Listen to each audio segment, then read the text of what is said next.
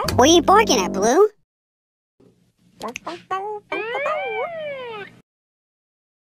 Did you see that? Blue just read right to that picture of a museum. Whoa! Hey, do you think if we go too, we might find another Blue's Clues? But let's get to, we can't. Wow! Whoa!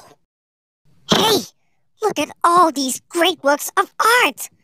Come on! That's great!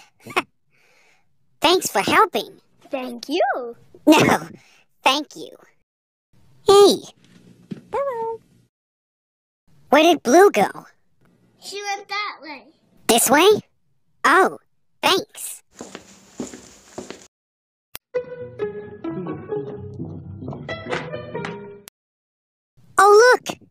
A sculpture of our house.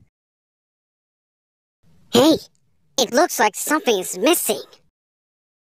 A clue! Yeah, right. The roof is missing.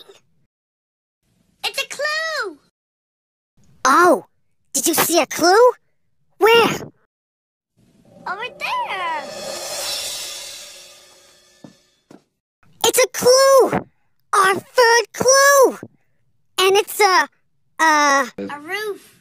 roof. Right. This roof is our third clue.